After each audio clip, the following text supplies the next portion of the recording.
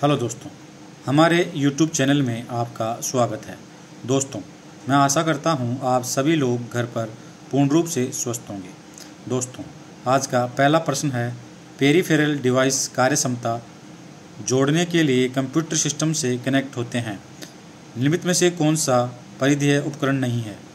Option A mouse option B scanner option C मुद्रक option D motherboard तो दोस्तों इसका सही आंसर होगा ऑप्शन डी, मदरबोर्ड। क्योंकि दोस्तों पेरीफेरल डिवाइस हमेशा मदरबोर्ड से कनेक्ट होते हैं, जबकि मदरबोर्ड खुद में ही एक कंप्यूटर का मुख्य भाग होता है।